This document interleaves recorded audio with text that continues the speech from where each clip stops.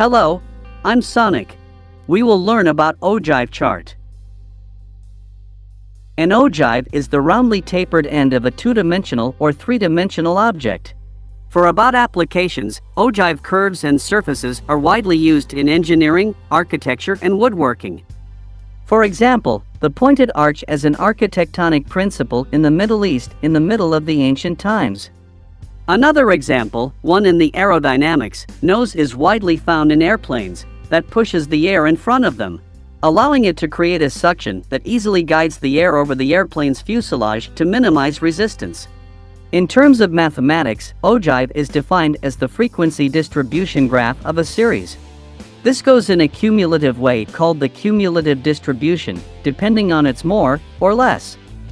In physics, any object travels with velocity can increase or decrease, termed as an acceleration. So you may have seen how the applications may have been used throughout the daily basis.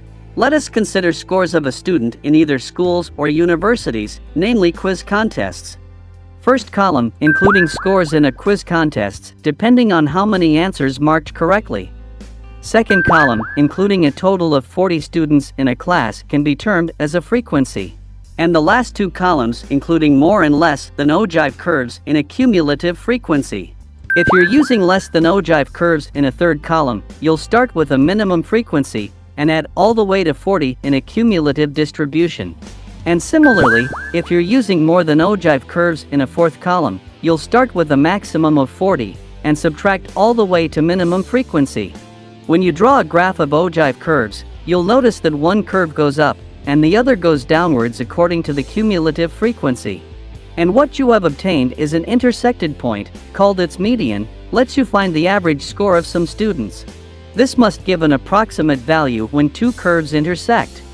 So, this video is about ogive curves. Like, comment, and subscribe now.